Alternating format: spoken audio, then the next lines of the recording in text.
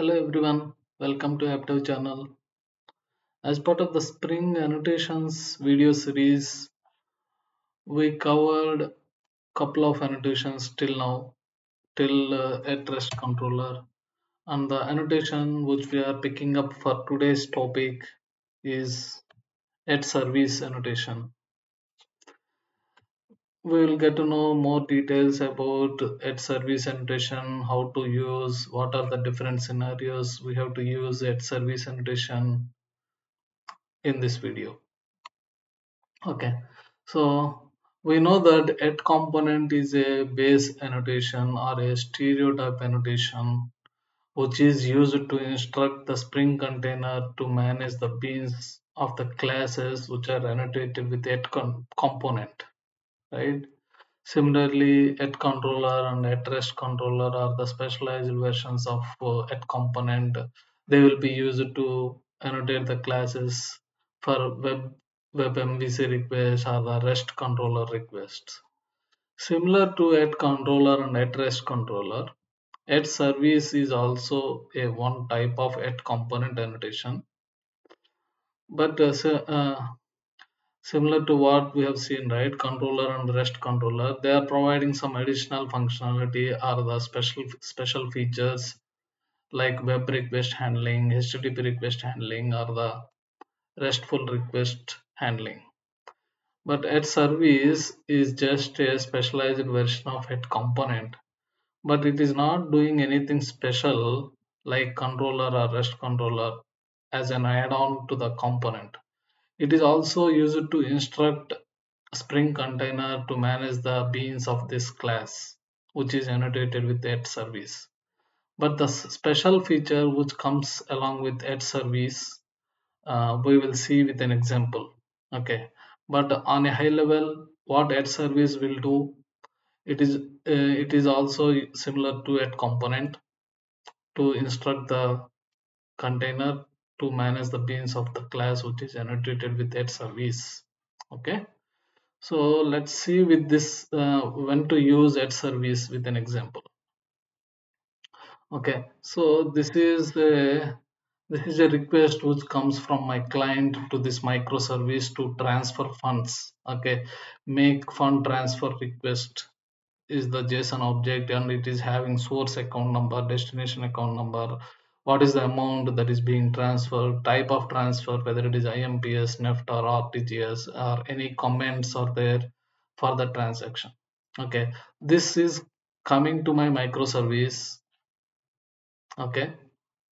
As a post request and this is the microservice appdev.com slash api slash v1 slash transfer funds. Okay whenever a request is reached to the microservice the dispatcher servlet uh, finds out the particular handler mapping method and the controller based on the url right?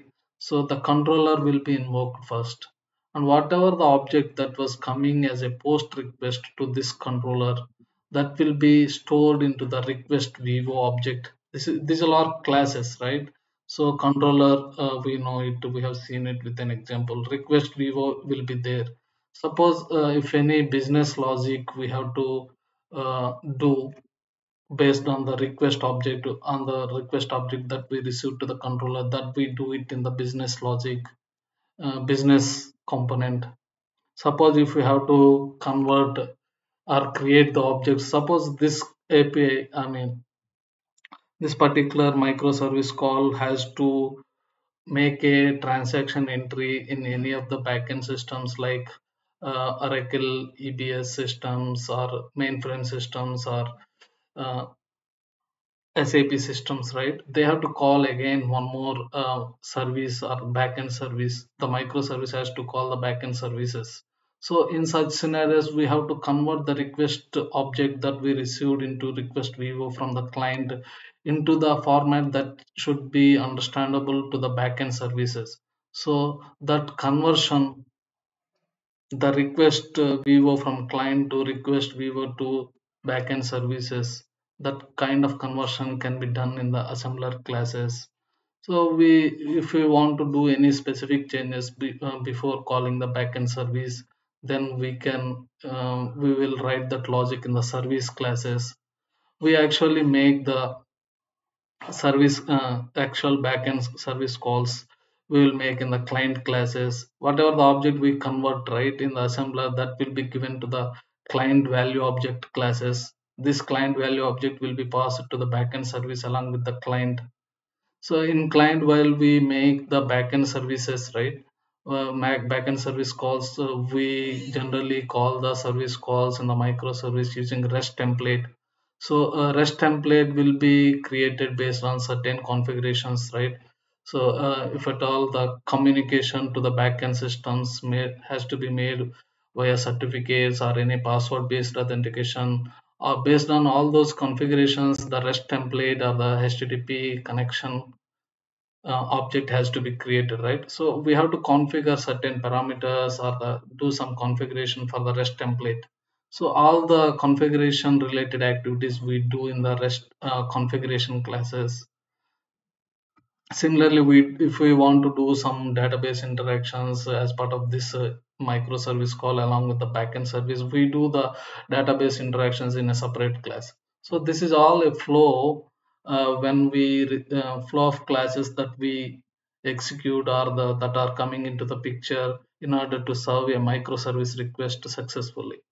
So here uh, we have seen it right? Uh, controller uh, we can annotate with the at controller or at rest controller annotations right? Request viewer is just a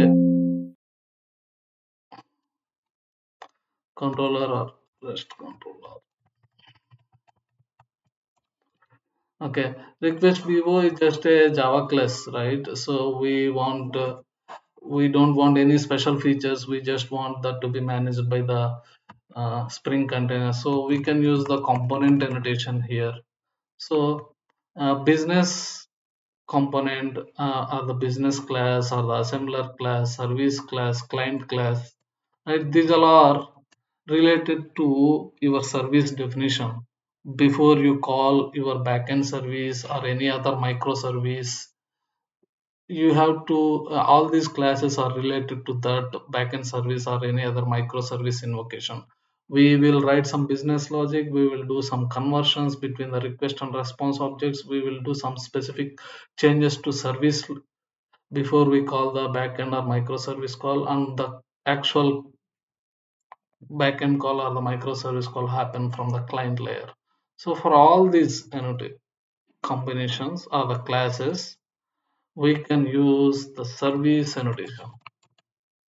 So service annotation is not providing any special feature but the uh, only feature that it is providing is if a class is annotated with service which means that that class may be doing the business logic or that class may be doing the conversions object conversions related to service invocations or that class may be doing the service specific invocations or the service specific changes or that class may be doing the service backend service or any other microservice invocations. That is the advantage we will get. We will be able to identify if a class is annotated with that service we will be able to identify that that class may be doing all these functionalities okay similarly client vivo uh, this is just a vivo right uh, so we can use the component annotation so configuration and DB interactions, we will discuss what what annotations uh, we can use in the future videos. So for now, let us understand the service annotation in this way. If at all you want to do and you, you want to do any class, uh, you, you want to do the business logic in a class, you want to do the service invocations in a class, you want to do the conversions in a class, object conversions, to be understandable between your client and your backend service or your, by your microservice another microservice that those object conversions. In such cases you have to annotate your class with that, the date service so that it gives us some modularity or readability of your close of your code what class is doing what functionality. Okay that is the uh, benefit we get from at service annotation.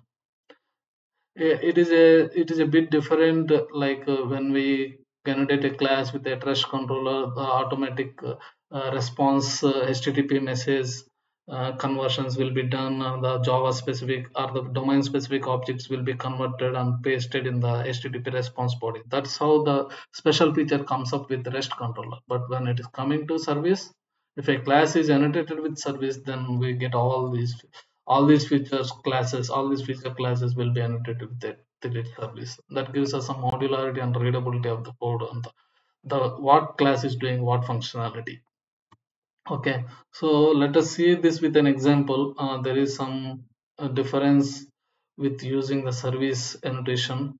Okay let us see this with an example. So suppose for example i have a service okay. I have a controller okay. Let me uh, let me make it as transaction controller and I'll make this transaction controller as REST controller. And I'll give the mapping as request mapping as slash tx. Okay. That's all. That's all my controller is having. Now I'll make an interface. Okay. In general, we for any services or for any client service invocation classes we don't directly make a service implementation class. We first in create an interface and create the implementation classes from that interface. So i'll create a transaction service interface. Now i'll create one class implemented from that uh, transaction service which is called as transaction service IMPL and that will be implemented from transaction service.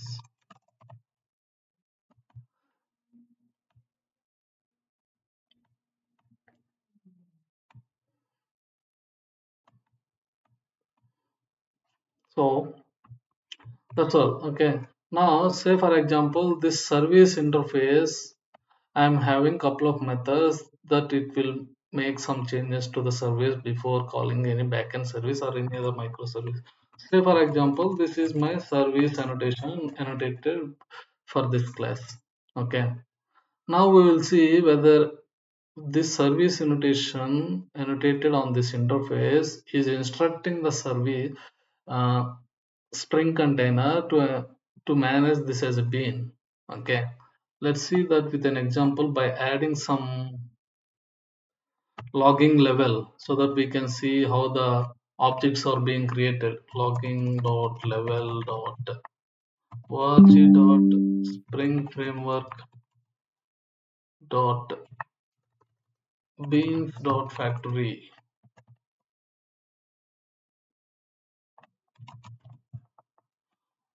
Okay beans dot factory is equal to debug i'll use okay. Now let me run this program as a spring let me run this project as a spring boot application.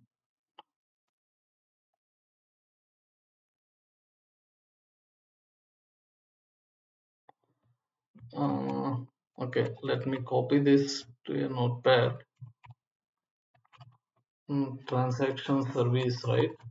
Let me go with transaction. See our transaction controller is being managed by the container here because it is creating a bean here. Now let us check for transaction service as well. See, it is not creating any bean for the transaction service because it is an interface. So uh, how a bean will be created for an interface, right? So we cannot use the transaction uh, service annotation on an interface. Instead, we have to use the service annotation on the implementation classes of that interface. Okay, let us see it now. Earlier, we have not seen transaction service in the log when it is creating the beans, right? Now we should be able to see it. Transaction service IMPL will be managed.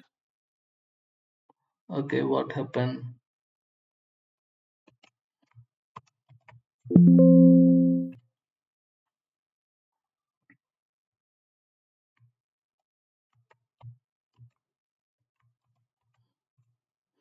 Yeah.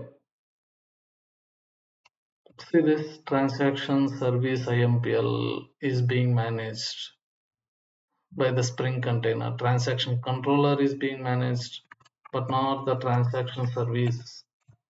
See only impl is coming so whenever you want to use the at service annotation you have to use on the implementation classes of the interface or an abstract class not on the abstract classes or on the interfaces.